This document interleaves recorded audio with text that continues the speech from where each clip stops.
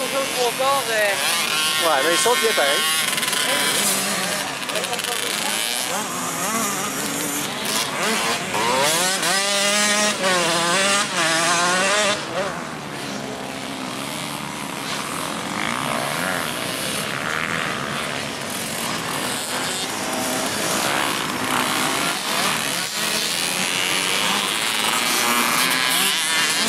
On y aller,